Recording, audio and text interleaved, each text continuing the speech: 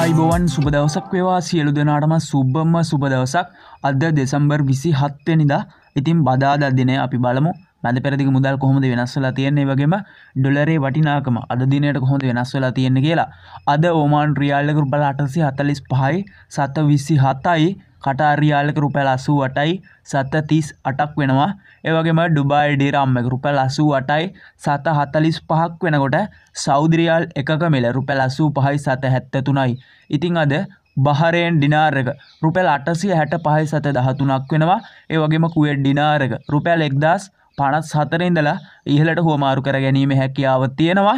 ඒවගේම ජෝදාන් ඩිනාරක රුපැල් හාර්සිය පනස්තුනයි සත අසූ දෙකයි ඉතින් අද ඩොලරේ වටිනාකම මතක් කළ යුතුමයි. ඉතින් අද ඩොලරේ වටිනාකම රුපයල් තුන්සිය විස්ස දක්වා පහළ බැහල තියෙනවා. ඉතින් ඩොලරය පහල ගටන සින්න තියෙන බලම ස්තරට මොකද වෙන්න කියලා. ඉතින් මතකන රැන්ලයින් අප YouTube චැනල ඇත් එක්ක සබස්ක්‍රයිබ් කරලා තියාගන්න. මේ වගේ මැද පෙරදික පුවත්සා ඩොලරේ සම්බන්ධ සියලු පුවත් අපේ චැනල්ල කර වැඩ දැනගන්න පුළුවන්. හදර ගිහිගෙන්න්න සියලු දෙනාටම ජය වේවා.